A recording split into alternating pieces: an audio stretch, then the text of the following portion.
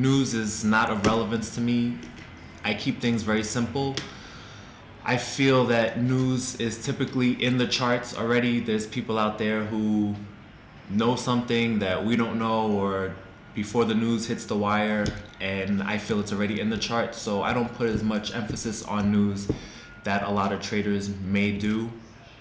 So my number one focus is always the chart. I don't look at fundamental analysis at all. It's all technical and volume. Um, that's pretty much my main concern. When I'm looking at charts, typically what I'm looking for off the open is relative strength. Um, the first five or 10 minutes, a huge move up, whether it be 50 cents, a dollar, a couple of dollars, or a huge move down. Um, after that, maybe a small bounce.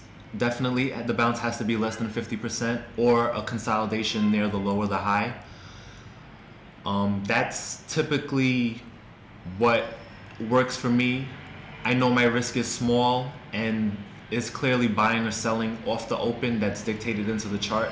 So it'll be a long green, if, if your chart's a green, a long up bar or a long down bar, and then a couple of bars coming back to maybe round as a U shape pattern and try to get in at the top of that U um, or like I said before, a consolidation, maybe for 5, 10, 15 minutes, as long as it's near the low or near the high.